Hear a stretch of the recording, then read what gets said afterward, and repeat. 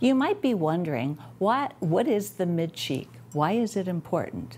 The mid cheek is the area below your eyes and in front of the prominence of the cheekbone, and volume loss here leads to a tired, sunken look.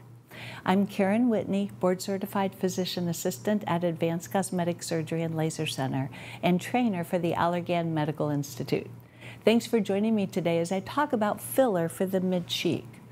The need for filling this area begins to show as we lose cushioning fat in the face and commonly starts to show in the late 30s to early 40s. Just as eyebrows frame the upper eye, the mid cheek frames the lower eye, keeping the focus on your eyes instead of having it drift downward to the lower face. We want to keep the focus up here, not down here. So Juvederm Voluma is FDA approved for this use. It's also the starting point for correction of the under eye area. So Voluma is placed either deep as a small lifting bubble or fanned into the region using a cannula, which is a long needle with a rounded end. Voluma is frequently also placed in the outer cheek to provide structure and support during this treatment.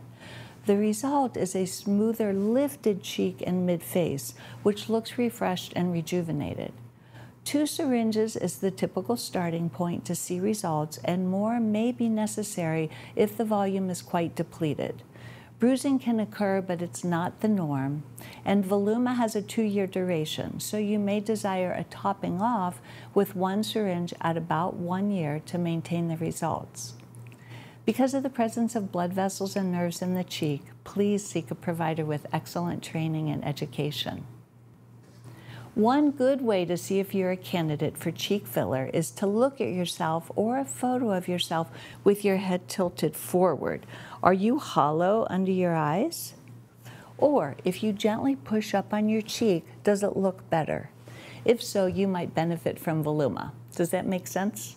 Remember, you can always reach out to us with questions.